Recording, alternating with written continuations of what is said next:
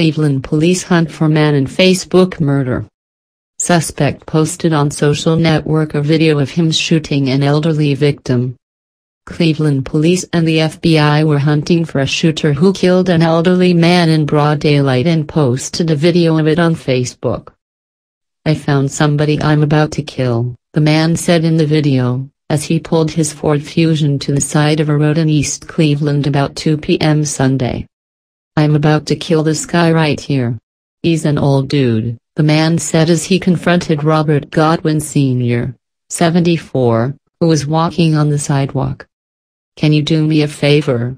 The man said to Godwin before asking that he say the name of a woman. She's the reason this is about to happen to you.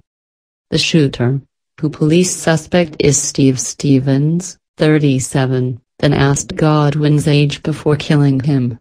The interaction lasted less than a minute. The two men did not know each other, police said. Stephens said in the video that he has killed more than a dozen people, police said, though they have announced no other victims. Authorities searched Sunday night across the Cleveland area for the suspect, who they said is African American, 6 foot 1, bald and has a full beard. Police said he was driving a white Ford Fusion with the temporary Ohio plate E636360. The video of Sunday's homicide was not posted live as police had initially stated. It was viewable on Facebook for about three hours before it was removed, and Stephens's profile was deactivated.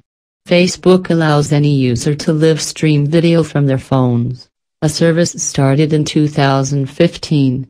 As live videos have gained an audience and prominence, some have questioned how the company should best control for potentially horrific scenes.